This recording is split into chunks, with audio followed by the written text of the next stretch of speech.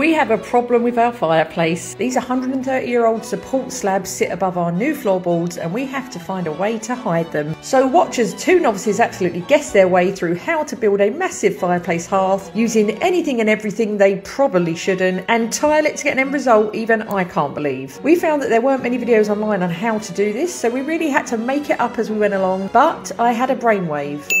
Let's pour a self-leveling compound for the base and tile on top of it, so that's what we did. Started by cleaning the floorboards and marking out how big we wanted the base to be. Then we primed it using this leftover primer from our shower tanking kit, which said it was out of date, but who cares? I'm not drinking it. Taped off the bricks too, because we spent far too long restoring them to just cover them in splashes. Neil then built a wooden barrier using some strips of timber, and I'd say this is where it got weird. We used expanding foam to fill all the gaps in the floorboards so the self-leveler wouldn't just trickle down to the ceiling ceiling below. Imagine it just raining like cement on your head. Although stupid as shit has happened in this house. Then we tried to build the wooden barrier to pour the self-leveling into, but we couldn't screw or nail it down well. So Neil thought, let's just stick it down using the expanding foam. Genius or madness? You'll find out. So that's what we did. And I did ask him, can you still see the lines on the floor when you're sticking that down? And he said yes, but I think he was lying to be honest. Anyway, we stuck it in place, let it dry, holding our breath that it would work, and did it. The only way to find out if it would work was to get pouring. I had visions of the self-leveling compound we were using to make the base just spilling out through the sides and ruining our brand new floorboards, all mixed up and ready to go, and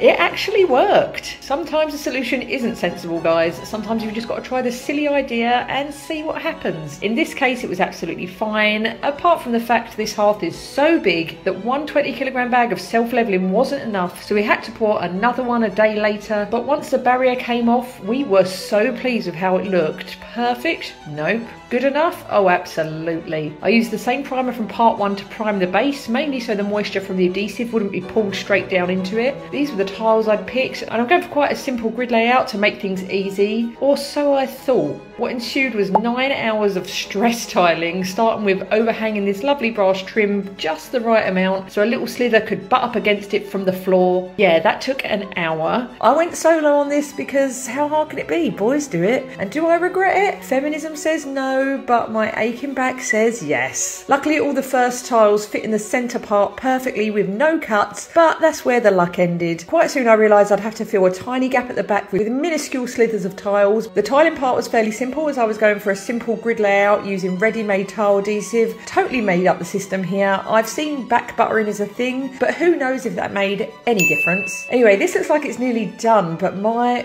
God, this was just the beginning. I now had gaps at the sides that needed cuts, gaps at the back, which kick-started hours and hours and hours of measuring and cutting down teeny tiny bits of tile over and over again. And because I'm not a nice person, I absolutely would wish this on my worst enemy. Thank the Lord for electric tile cutters, and by the Lord I mean Lady Gaga, of course, because this would have been an absolute monster of a job without one. A day later, I whipped out all the spacers, gave the tiles a wipe over, and then time to grout. This was a messy but glorious task. You have to trust the process. So over the space of about 13 hours in total, we've gone from this to this. We now have a glorious fireplace hearth made from scratch and those 130 year old support stones are nowhere to be seen.